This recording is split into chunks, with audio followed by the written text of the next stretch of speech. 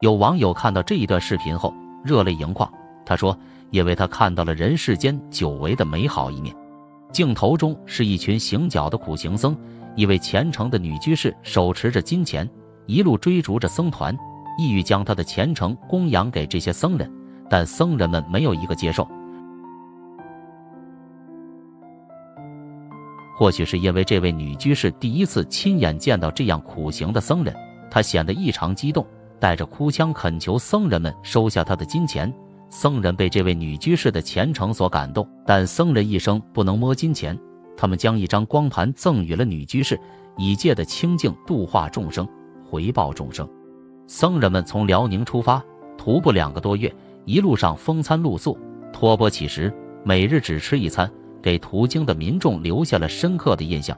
很多人一生中从来都没有见过这样的景象，时不时有人前去供养，心怀敬意。这位饭店的老板渴望将自己手中的金钱送给僧人，僧人们坚决不收，因为僧人要坚守不捉金钱戒。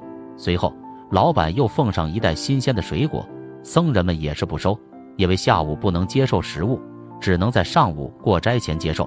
饭店老板又拿来一袋矿泉水。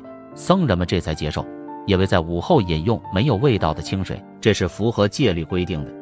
有些善心的民众特意停下车，想将金钱供养给僧团，僧人们照样不收，而是给他们送了一张光盘。在这份坚守戒律的修行和如法供养之间，双方都能获得真正的益处。就算有些民众想要以捐赠灯油钱的方式进行供养，这一善意也被僧团坚定地拒绝。僧人告诉他们。可以以别的方式来供养，但金钱是万万不能的。一个有志于解脱的比丘，必然乐于解脱金钱的苦恼，让自己成为其他比丘以及后人学习的榜样，以自己的行为准则为修行道路上的众生带来真正的启迪。十年前，僧团曾路过秦皇岛市大高庄村。十年后，他们再次途经这里时，他们发现当初撒下的种子已经在这片土地上生根发芽，茁壮成长。这是一个鼓舞人心的时刻。这个十年间，那些种子在村民们的心中扎根，激发了他们对修行和精神成长的兴趣。从当初的一片小小的希望，到现在的生机勃勃，这是一个宝贵的见证。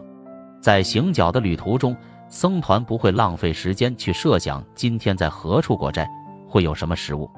他们明白，这种思虑只会分散注意力，让修行之路变得模糊。他们既不徘徊于过去，也不担忧于未来，只将心念集中在精行的禅寺之中。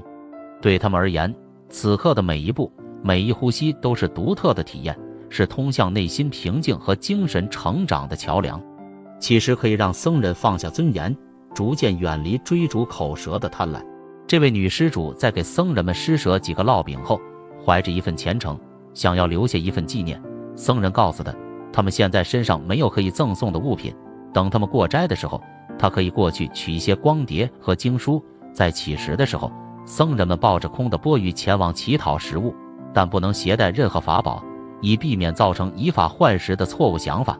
同时，可以纠正那些假和尚上门骗钱所造成的不良影响。他们坚守不做任何买卖的原则，但在过斋后，他们可以将一些光盘或经书送给民众，作为结缘的方式。回报众生的供养和虔诚，僧人们过斋的地点随遇而安，大多选择在空旷寂静之处。